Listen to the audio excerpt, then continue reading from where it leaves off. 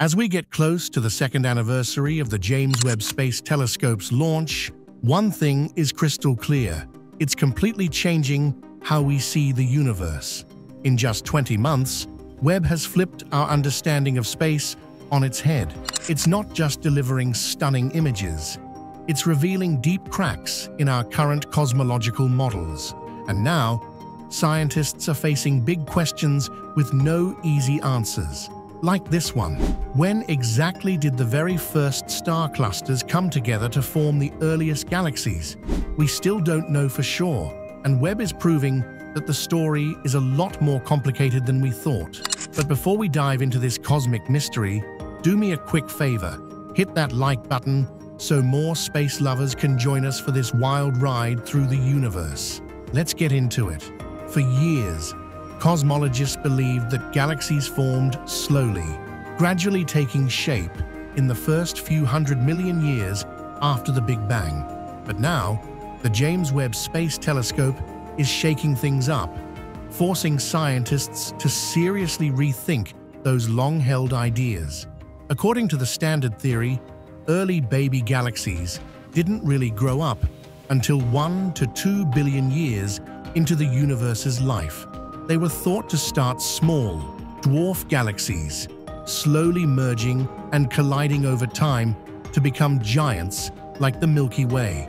Back then, the universe was in what's called the Cosmic Dark Ages, a period where everything was wrapped in a thick fog of neutral hydrogen. That fog trapped the light from the very first stars and galaxies. The belief was not until a billion years after the Big Bang did that fog lift, when hydrogen atoms were ionized and light could finally break free, letting galaxies start to shine. But then, James Webb happened, and what it saw was nothing short of a game changer. Webb spotted thousands of bright, early galaxies, some shockingly similar to our own Milky Way.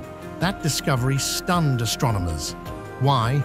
Because these galaxies were too big and too bright to have formed so early. If a galaxy is glowing like that, it usually means it's massive, full of stars. But here's the thing, there simply shouldn't have been enough time for them to grow that large. It left scientists wondering, how did these galaxies get so big so fast? And why are they so bright, when they technically shouldn't even exist yet? They even gave this cosmic puzzle a name, too big, too soon. To get answers, researchers turned to a powerful supercomputer. They ran complex simulations, modeling the early universe, tracking how gas came together to form stars and how those stars began shaping entire galaxies. They factored in mass, energy, momentum, and chemical makeup to recreate the universe's first few hundred million years. And what they found was surprising. Instead of forming stars at a steady pace, like galaxies today, these early galaxies may have gone through violent, explosive bursts of star formation, followed by quiet periods. This intense, stop-and-go process called bursty star formation could explain why those early galaxies were shining so brightly. They were literally lighting up the universe in rapid flashes, a cosmic let there be light moment.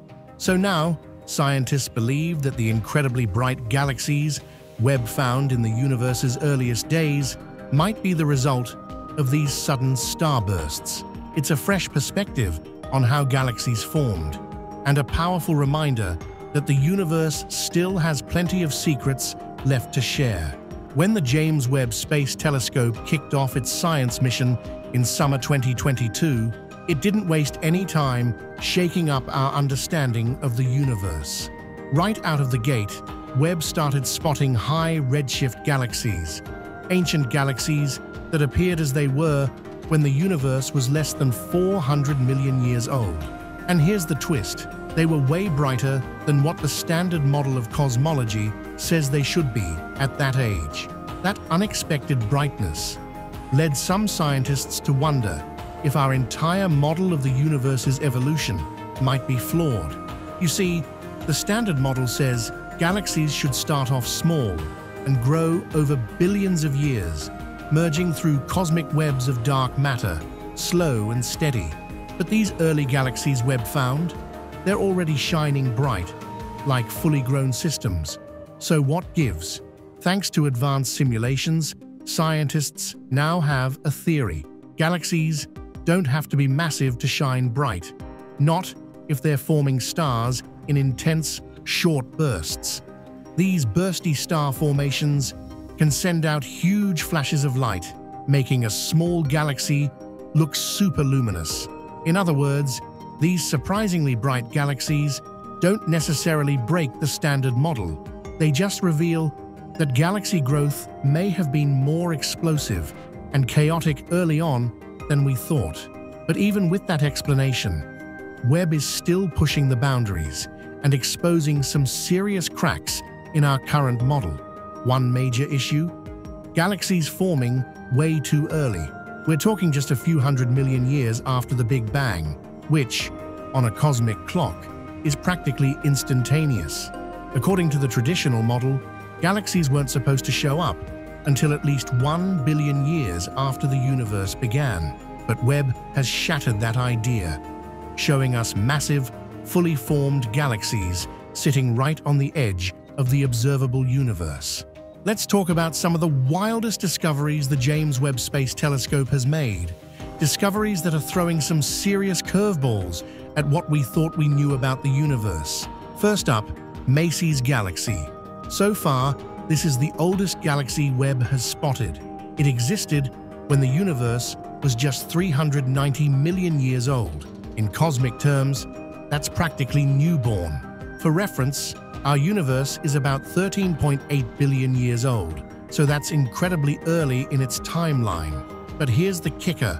Maisie's galaxy isn't alone. It's just one of many early galaxy candidates Webb has picked up on.